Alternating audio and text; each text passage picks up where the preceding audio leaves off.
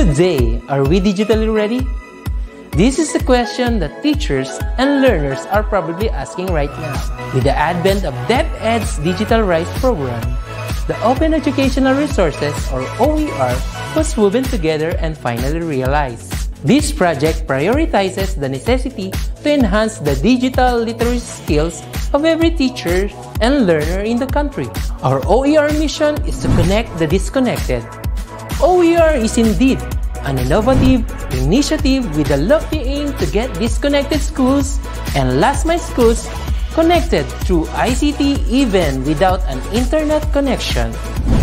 It is designed to cater to the need of these schools for interactivity, digitalization, and delivery of 21st century skills that will ensure that every learner is future ready. Join us in another training workshop and learn more about open educational resources whose primary purpose is to provide support and assistance to learners and teachers in this rapid advancement of technology. Our goal is to build and strengthen the capabilities of public and private teachers, school heads, and supervisors by teaching you to create and design interactive, localized, and contextualized instructional materials for teaching using basic, advanced, and proficiency software and tools. Surely, this will be another exciting and engaging webinar training workshop. Together, let's all rise amidst this crisis.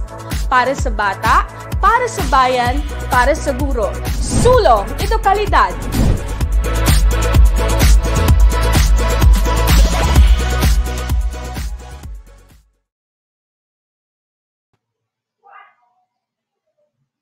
Magandang hapon sa lahat ng nanonood ngayong oras na ito.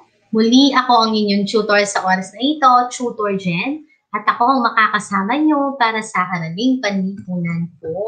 Kumusta na kayo? Magandang hapon po sa mga parents, sa mga kapwa ko guro, at syempre sa mga mag-aaral sa ikahapat na baitang. Nakita ko kanina habang may infomercial tayo, sabi ni Shaina first. Si Shaina ang nauna. Hello Shaina, happy viewing. Hi din po kay Mika, kay Lexer, kay Fiona, Kay Zay na tiga Pampanga. Hello, Zay. Kabalin ko to. Si Shaima, si Gian, si Mika Margel na naging Chuty of the Week last time. So, magsisimula na tayo, ha? Okay. Ayan.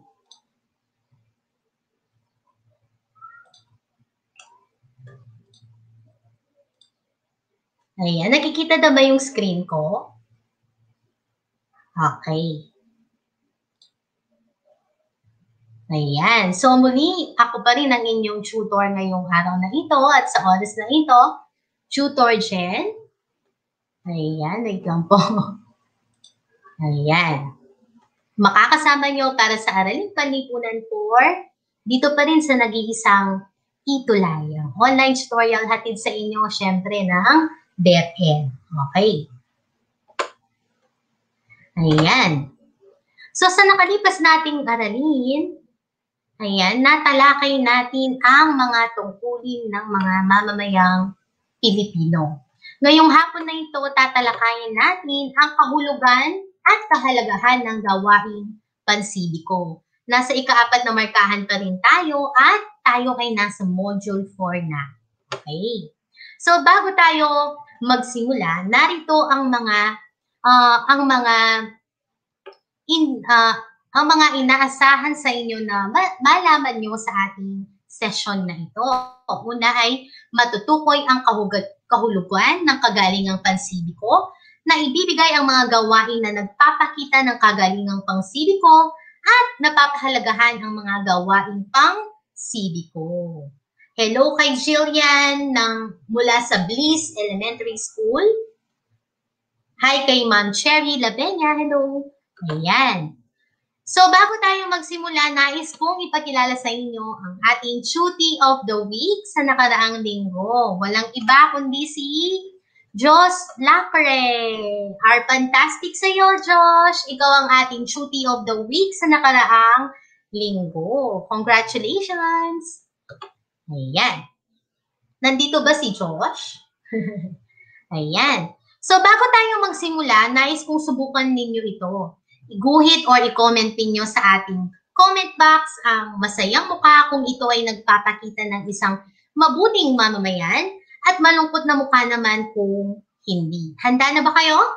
Okay. Kung handa na kayo, sisimulan na natin. Unang bilang, pagtapon ng basura sa kapaligiran. Hindi pagtapon ng basura sa kapaligiran. Lagyan nyo ng number yung sagot nyo ha. Para hindi malito si teacher, si tutor. Okay. Hi kay Samantha Eunice, watching from Sungay Elementary School. Good afternoon. Ayan. Number one, sabi ni Ray, Lexer ay masayang mukha. Gayon din ang sagot ni Chian, ni Fiona, ni Jillian, ni Martin, ni Samantha. Ang sagot nila ay kap ay pare-parehong masayang mukha. So, ang sagot sa number one ay masayang muka. Ag are fantastic! Ayan. Ikalawang bilang, pagiging makasarili. Pagiging makasarili. Pag sinabi nating makasarili, iniisip mo lang ang sarili mo. Okay? Ano kaya ang sagot sa number two? Sabi ni Gian, malungkot na mukha. Gayon din si Martin. Martin Angel. Gayon din ang sagot ni Shaina. Sabi niya, malungkot na mukha. Ang tamang sagot ay malungkot na mukha. Are fantastic sa inyo mga bata. Tama ang sagot ninyo. Ikatlong bilang, pagsuporta sa mga programa ng pamahalaan. Di ba? Natalakay natin yon sa ating nakalipas na aralin. Anumang proyekto meron ng ating gobyerno o pamahalaan, kung walang suporta, hindi ito mag, uh, magiging matagumpay. So, kung ang sagot nyo ay masayang mukha, are fantastic. Tama ang sagot ninyo. Okay? Ikaapat na bilang, pagsali sa mga programa ng komunidad. Ano kaya ang sagot sa number four? Pagsali sa mga programa ng komunidad. Sabi ni Martin, yay! okay, sa number four, masayang mukha, sabi ni Martin Angel. Sabi ni Josh, ayun si Josh. Hi, Josh! Ikaw ang ating cutie of the week. Ayan, sabi ni Josh. Sabi ni Dexter, masayang mukha. Ang tamang sagot ay, masayang mukha. Are fantastic! Sa ikalimang bilang, pagsulat sa mga dingding ng paaralan. Naku, naku. Ito kaya ay masayang mukha or ma malungkot na mukha. Ano kaya ang sagot sa number 5? Ayan. Sabi ni Maria Janine Ubak, malungkot na mukha. Gayon din si Mika Mariel. Si Josh, ayan, ayan na si Josh. Ay, malungkot na mukha. Are fantastic. Okay, magpatuloy tayo. Balikan naman natin ngayon ang ating mga naging talakayan or ang ating naging aralin sa nakalipas na linggo.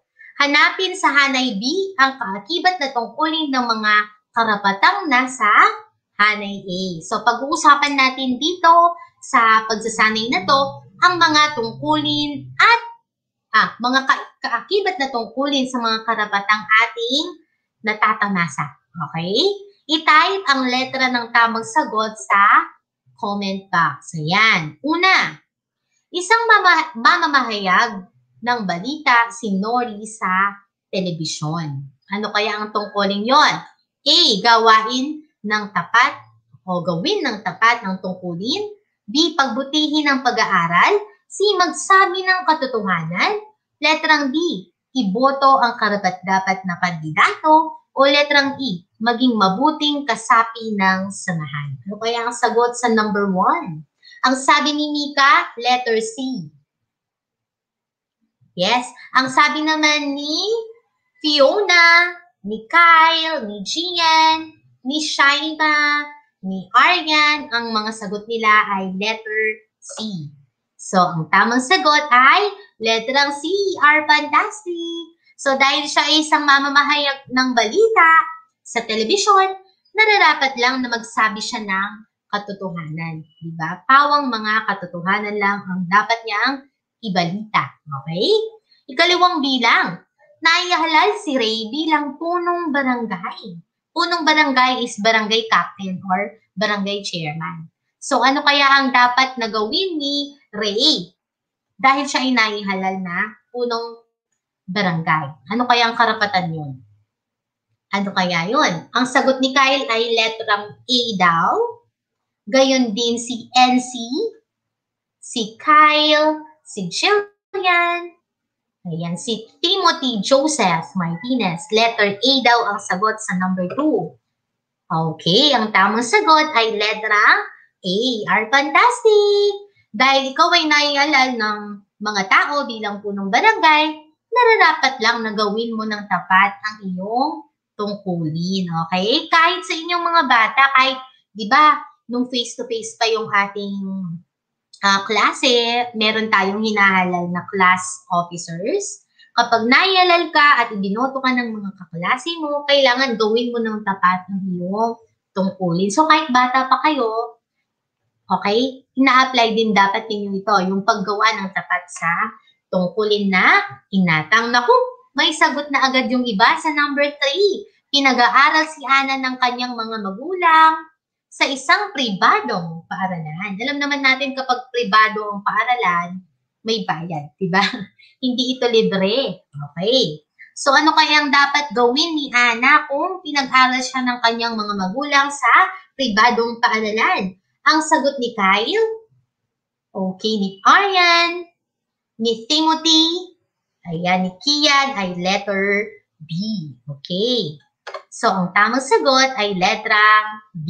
Pagbutihin ang pag-aaral are fantastic. Pero, hindi lang hindi lang yung mga nag-aaral sa pribadong paaralan ang dapat na pagbutihin ng pag-aaral, di ba?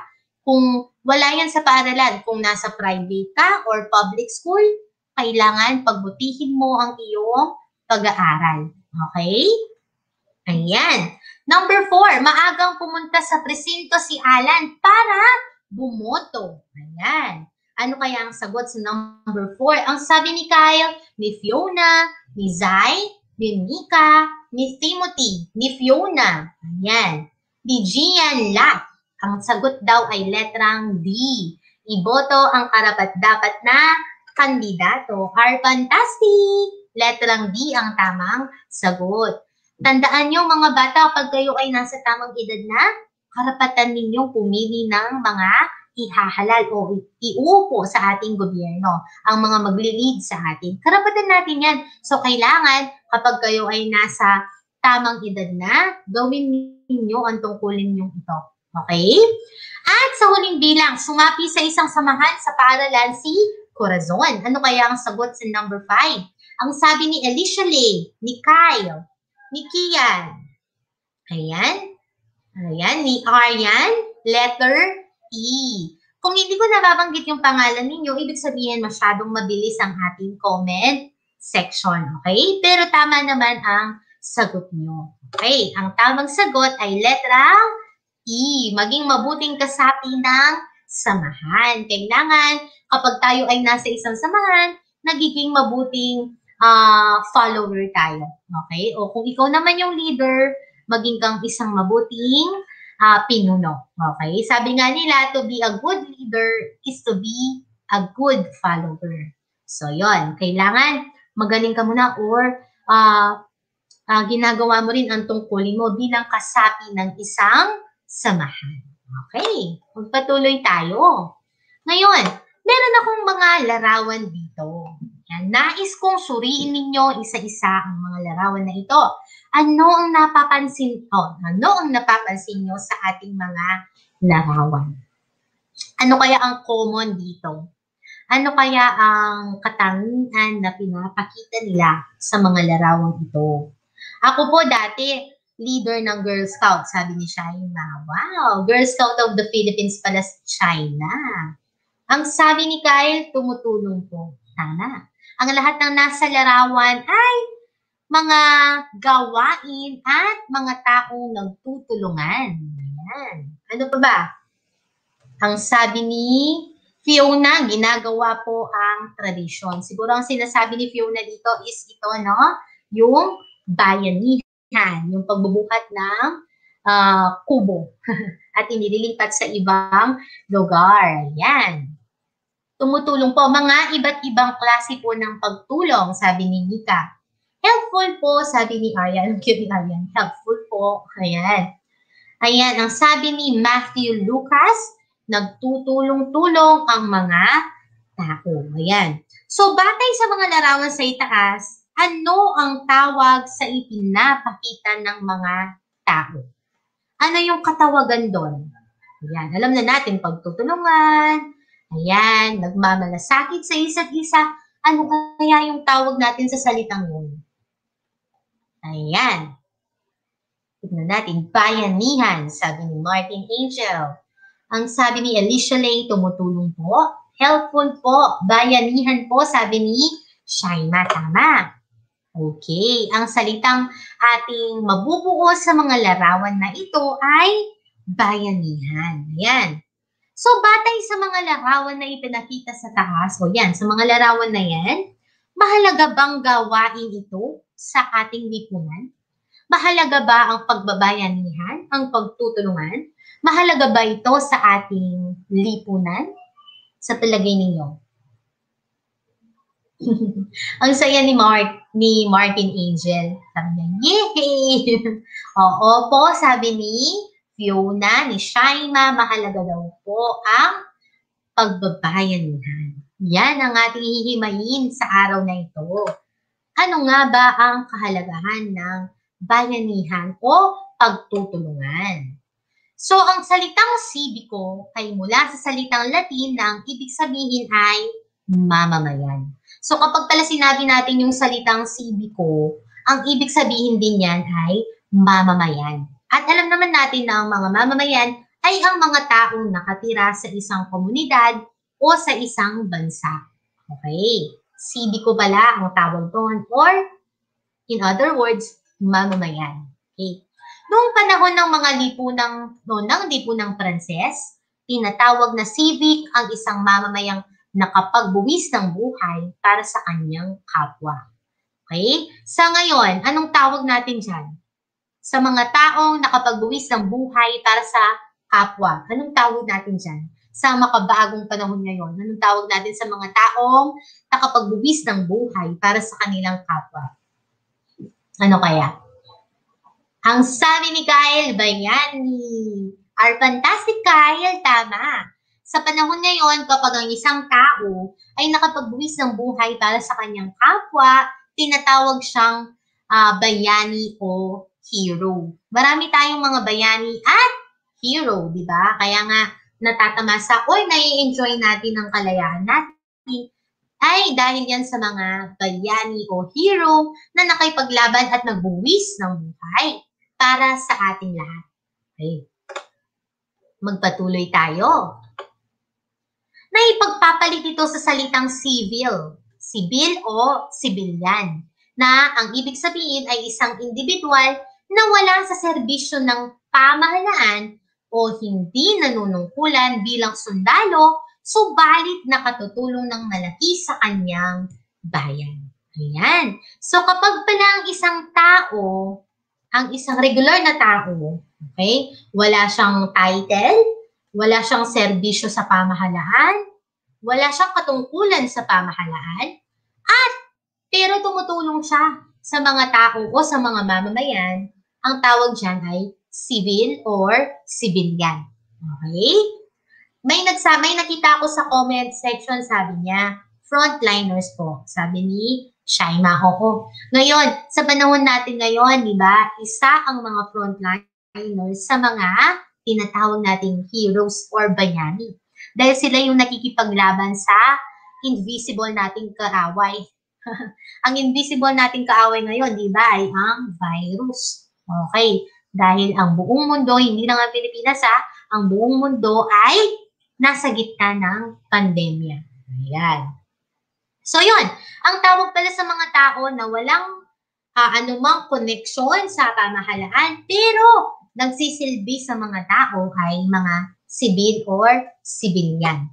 Okay. Ayan, magpatuloy tayo. Sa kasalukuyan, ginagamit ang salitang sibiko upang formal na tukuyin ang mga mamamayang bumubuo sa lipunan. Kadalasan nang ikinakabit sa salitang ito ang mga katagang kagalingan o welfare. Pag sinabi natin kagalingan o welfare, ito yung uh, kapakanan or sa ikabubuti ng mga tao sa ating kapal kapaligiran. Okay? Ayan. Salute po sa kanila, sabi ni Shaima. Oo. Lahat tayo saludo sa mga frontliners. Ayan. Magpatuloy tayo. Tinutukoy ng civic welfare o kagalingang pansibiko ang pinakamataas na kabutihang makakamit at mararanasan ng mga mamamayan. Ang kabutihang ito ay matatamasa sapagkat nanggagaling sa kagiyat na pagtugon o kaagad na pagtugon at pagmamansakit ng kapwa mamamayan. Civic welfare pala ang tawag doon. Okay? Kapag, or kagalingang pansibiko, kapag kaagaran na tumutulong ang mga civic o civilian na tao, civil o mga civilian na tao sa mga kapwa nila. Ngayong ano, pandemya, ano kaya yung kagalingang pansibikong nag-viral? Sige nga, kung alam nyo. Hi, Heart! Sabi ni Heart, hello po, Tutor Jen. Alam ko, nanood si Heart or nakibahagi si Heart sa ating talakayan last week. Ayan. Yun. Ano kaya yung kagalingang pansibi kong naging viral ngayong pandemic? Hindi ba yung mga community pantries? Di ba nagsulputan ang mga community pantries? Uh, okay? Uh, dahil gusto ng mga taong sibil o sibilyan na makatulong sa kapwa nila tao. Ano ba yung pinaka, saan ba natagpuan or nagsimula yung pinakaunang community pantry. Hindi ba doon sa Maginhawa Pantry? Ayan, sa Maginhawa Street. Yan. Ang pagtatayo noon ng mga community pantries ng mga taong sibil o mga sibilyan, ayan, ay may tuturing na civic welfare o kagalingang pansibiko. Kasi yun yung mga taong walang walang koneksyon sa gobyerno, hindi sila nakaupo, hindi sila mga hindi sila mga uh, kandidato or mga hindi sila politiko. Pero nagsilbi sila sa ating bayan. Okay, sa pamamagitan ng pagbibigay ng mga iba't ibang klaseng uh, tulong, gaya ng pagkain. Hindi ba nung, nung yung community pantry sa Maginhawa Street, street tinayo nila, nagsulputan ang mga maraming uh, community pantries, di ba? Ginaya na ng mga iba't ibang tao. Mind you, yung mga taong yun, hindi sila politiko. Okay? Sila ay mga ordinaryong tao lang na nais makatulong sa ibang tao. Okay? Ang tawag natin sa kilos na yon or sa act na yon ay civic welfare o kagalingang pansibiko. Okay? Nagbibigay ng ayuda, sabi ni Jillian. Ayuda in a form of pagkain. Okay? Yun yung nag-viral ngayon, di ba? Sa panahon ng pandemya. Okay. Susunod. Ang kamalayang pansibiko ay kaisipan na ang bawat isa ay may pananagutan sa kanyang kapwa. Ayan. Ang ganda nun, no? Kung ang bawat isa sa atin iisipin na tayo ay may pananagutan sa ating kapwa, na kung napakasaya ng mundo. Hindi ba? Ito ang pagkilala ng individual ay may kakayahang paunlarin ng lipunan sa anumang paraan. Kaya kaya niya itong tugunan at gampanan. Hindi ba? Ang saya noon kung ang bawat isa sa atin, ang mindset natin is may pananagutan tayo sa kapwa natin. May responsibilidad tayo sa kapwa natin. Ang responsibilidad na ito ay hindi naman kinakailangang grande or malaki. Okay? Maraming mga kamalayang pansibiko o mga civic welfare na pwede natin gawin. Okay? Para ipakita ang ang ating pagmamalasakit or pananagutan sa ating kapwa. Ano ba tong mga simpleng bagay na ito? Ang pagpukusang loob. Diba? Kapag kusang loob mong ginagawa ang mga bagay, isa kang sibiko or isa kang taong may malasakit sa kapwa. Okay? Sa loob ng classroom, paano makikita ang pagkukusang loob? Sige nga. Ang sabi ni Martin Angel, masarap po sa pakiramdam ang pagtutulungan. Oo, masarap sa pakiramdam talaga yon at sa kalooban na meron kang naitulong sa kapwa mo. Hindi ba? Sa loob ng classroom, di ba, may papakita mo ang pagkukusang loob sa pamamagitan ng pagpulot ng kalat. Di ba? Kapag pinulot mo yung kalat na hindi sinasabi ng teacher mo, na hindi kayo inuutusan ng teacher mo, naku, thumbs up na thumbs up yun. Ibig sabihin, ikaw ay may pagkukusang loob. Sa loob ng bahay, paano mo may papakita ang iyong pagkukusang loob? Ang pagliligpit, di ba, na hindi ka sinasabihan ng nanay mo or sa edad ninyo, pwede na kayong maghugas ng plato, di ba? Na hindi, na hindi inuutusan. Yan. Ayan. Ang sabi ni, ah, uh, ayan, wait lang po. Pagtanggol sa inaapi, sabi ni Fiona, isa rin yun, di ba? Kung ang kalaro mo ay inaapi, maaari mo siyang ipagtanggol. Lalo na kung, kung alam naman, kung alam naman ninyo na nasa tama kayo, di ba?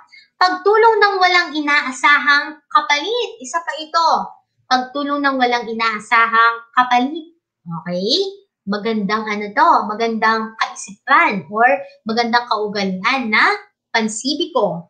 Bayanihan at at bayanihan ang mga susing katangian na dapat taglayin sa gawaing pansibiko. Okay? Ang bayanihan, mga bata, hindi lang yung kagaya sa picture ha.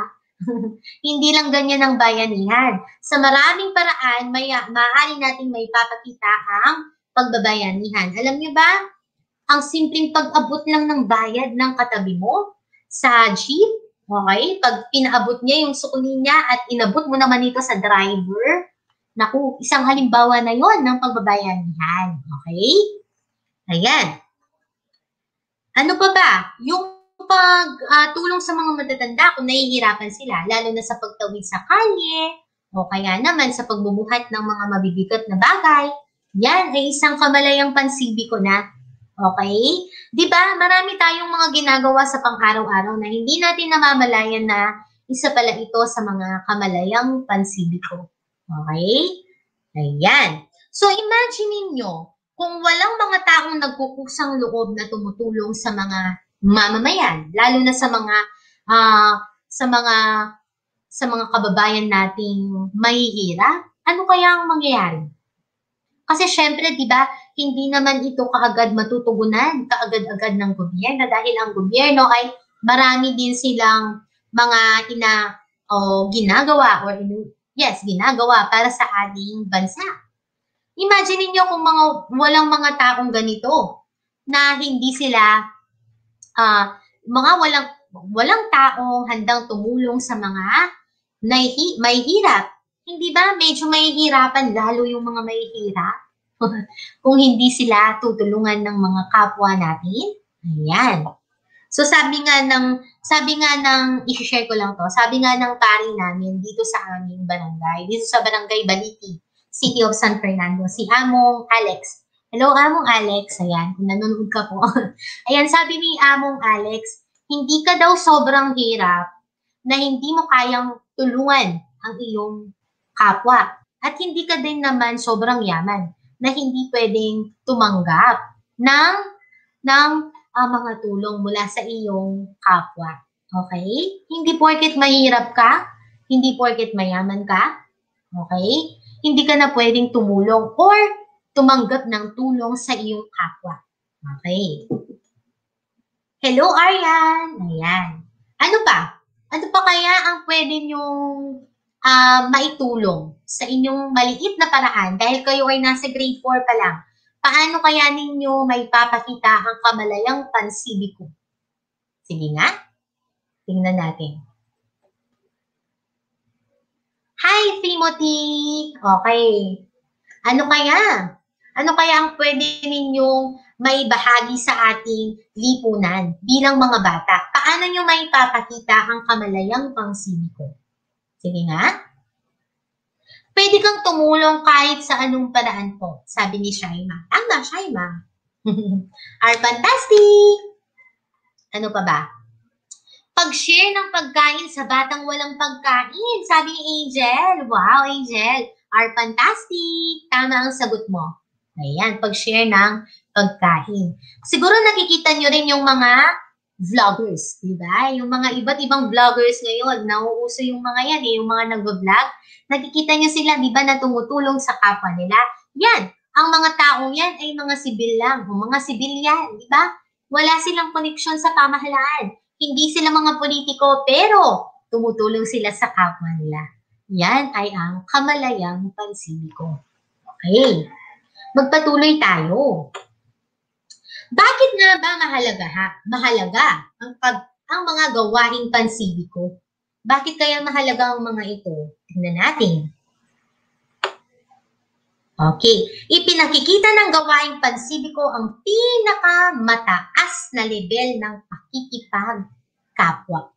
Yun nga yung sinabi ko kanina, di ba? Kung ang bawat isa sa atin, ang mindset natin ay meron tayong pananagutan sa ating kapwa, meron tayong responsibilidad sa kapwa natin, napakaganda at napakapayapa ng mundo. Hindi ba? Dahil dito, kakikitaan ang mga tao ng pagmamalasakit sa isa't isa. Isa pa, ito yung gusto ng Diyos na gawin natin, di ba? Ang pagmalasakitan o magkaroon ng malasakit sa kapwa natin. Kung nagbabasa kayo ng Bible, hindi ba? Si Jesus, naging tao siya at nakipagsalimuha siya sa mga tao noong panahon niya. Hindi ba tumulong siya sa mga tao na parang isang sibil na tao lang, parang isang sibilyan. Okay? Yan kasi ang turo ng Diyos sa atin ang pagmalasakitan ng ating kapwa. Nagkukusang loob silang mapaglingkuran, lalo na ang mga may hirap at nakabababa. Okay? Yan. Lalong-lalo na yung mahihirap. Di ba? Mahirap na nga sila eh. So, kailangan natin silang pagmalasakitan at tulungan. Pagbibigay ng pagkain sa ibang tao po. Sabi ni Maria Janine. Tama, Mar taya, tama Maria. Okay. Bakit pa mahalaga ang, ang ito? Okay, kumikilo sila at tumutugon sa pangangailangan ng iba kahit hindi pagsabihan o walang kumpas ng pamahalaan. Ayan, importante yun, no? Na kahit hindi tayo pagsabihan, kahit hindi sabihin ng gobyerno, o tumulong kayo, mas maganda na tumulong tayo sa sa ating pansarili. Okay?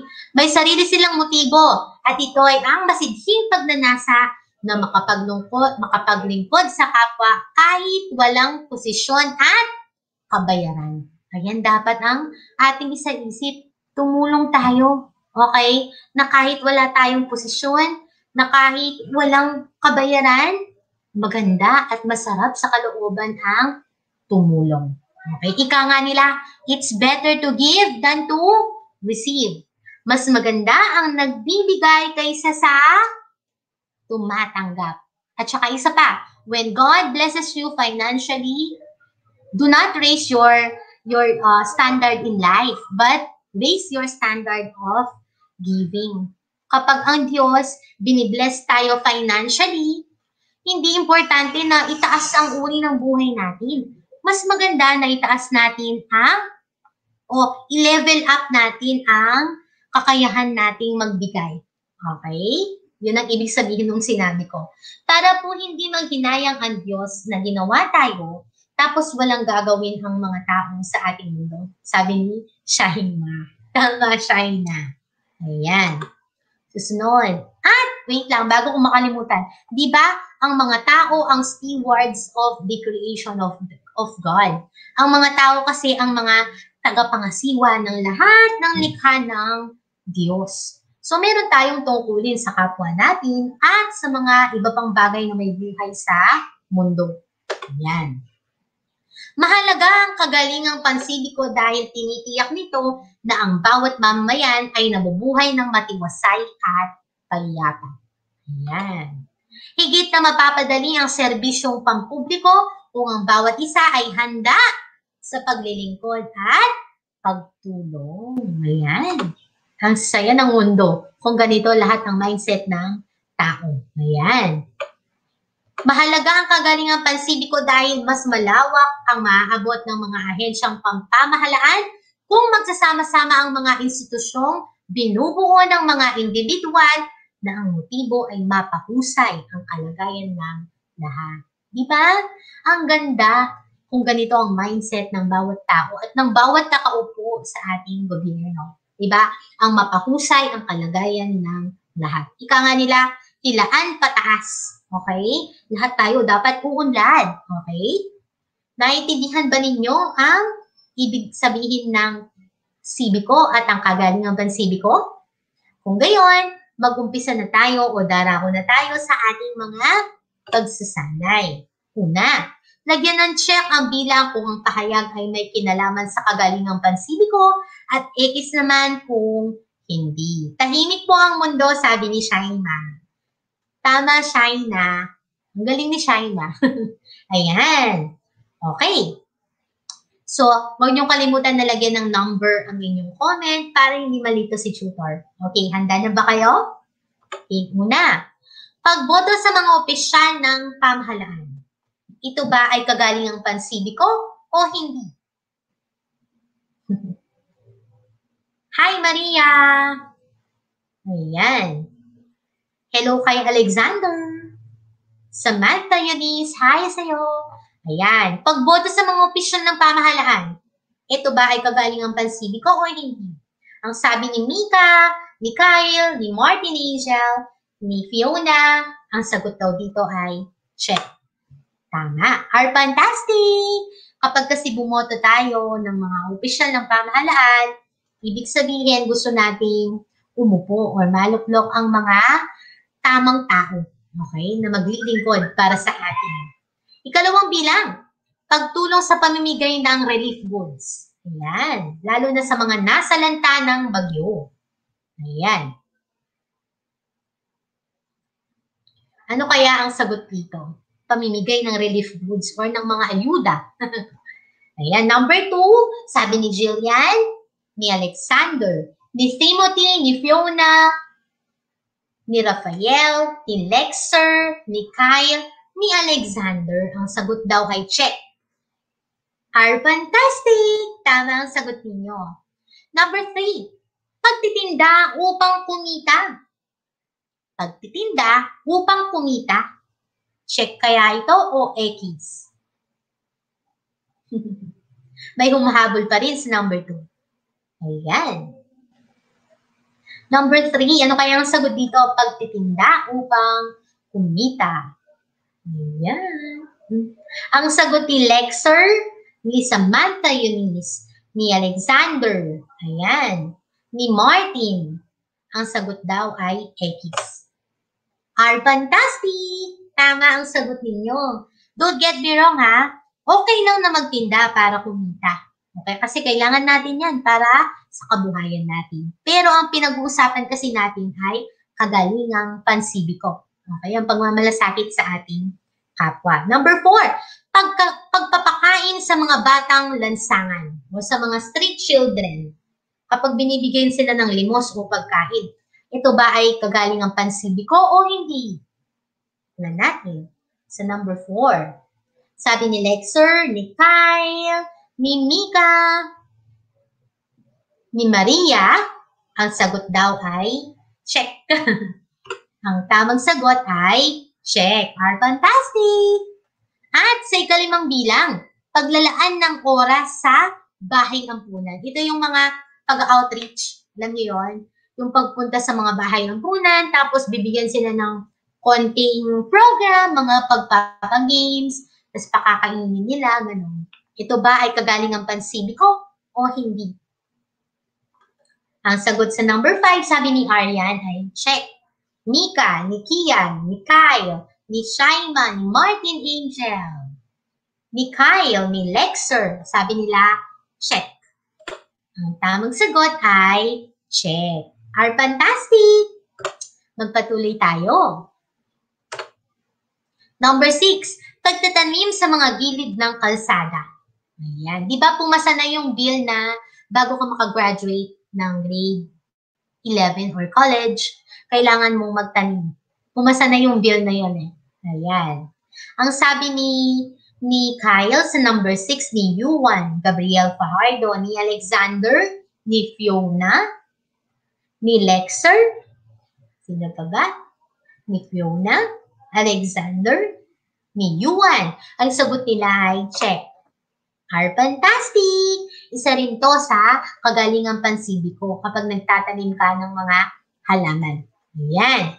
Number seven, panonood ng sine. Ngayon, walang sinehan, no? Dahil bawal. Ayan. Number seven, panunood ng sine. Ito kaya ay kagaling ang pansibiko o hindi? Ang sabi ni Maria Janine Ubak, hindi. X daw. Sabi ni Samantha, X din.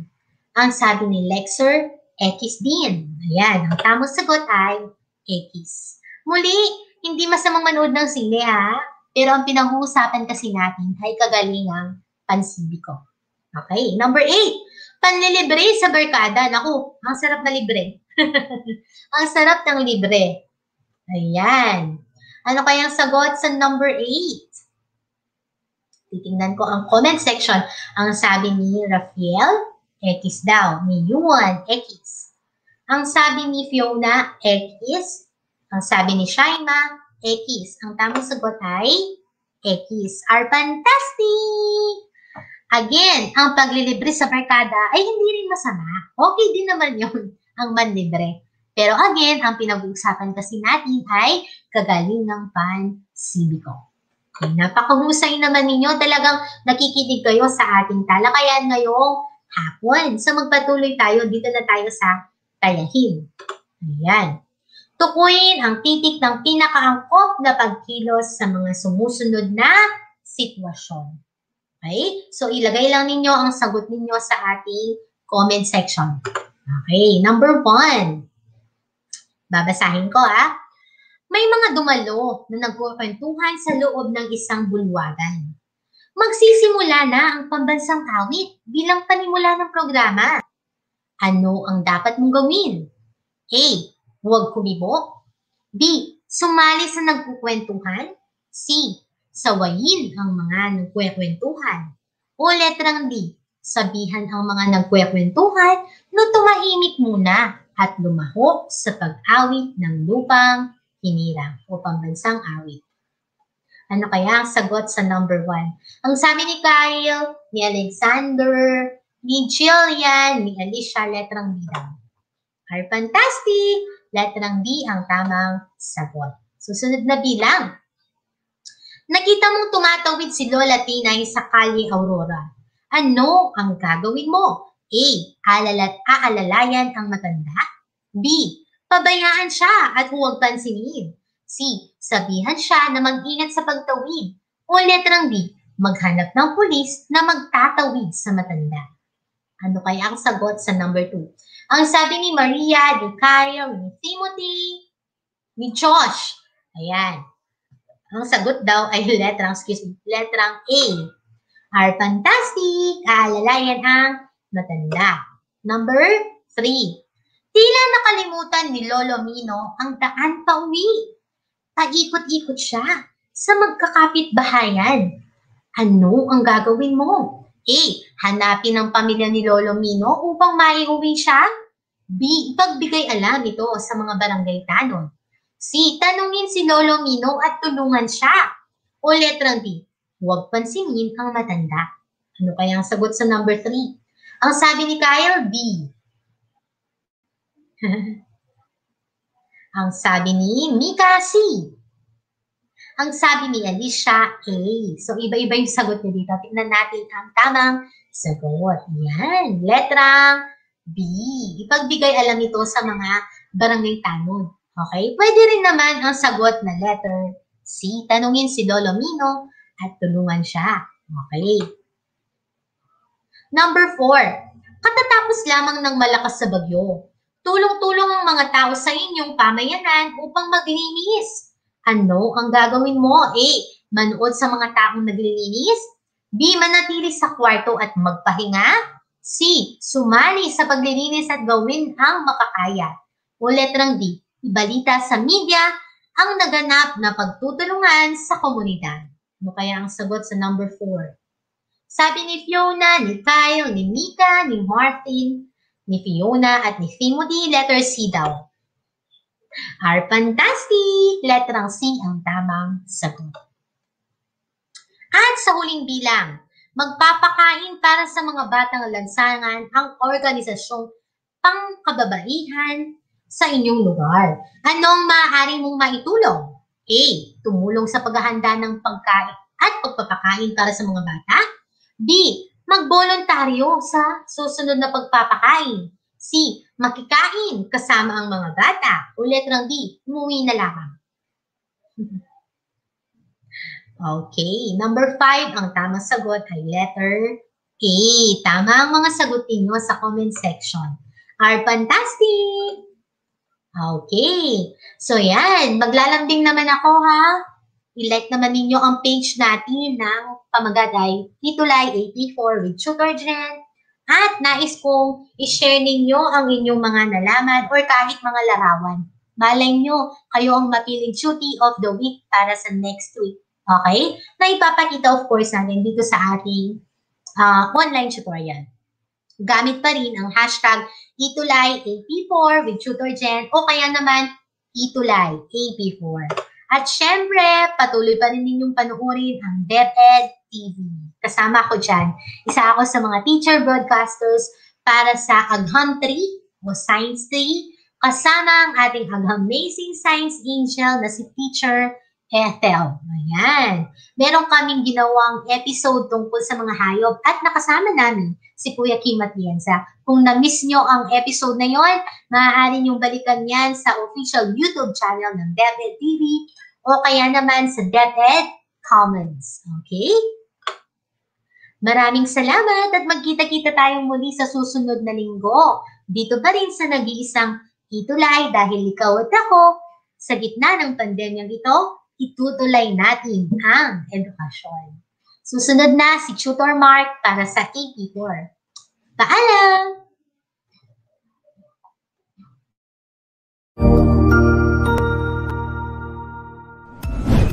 Sigurado ako na marami ka na namang natutuhan sa ating Itulay tutorial session ngayong araw.